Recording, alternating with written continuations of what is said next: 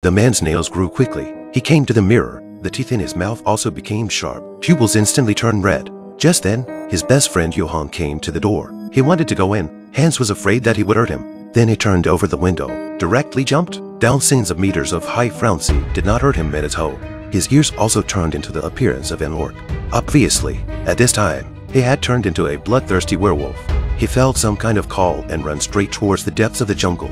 Just then, a figure suddenly appeared and pounced on him.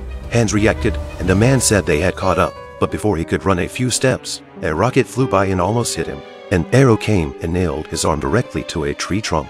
Three hunters with mailed crossbows slowly approached, and one of them ordered Hans to be taken alive. The man reappears and shakes off the two men at once.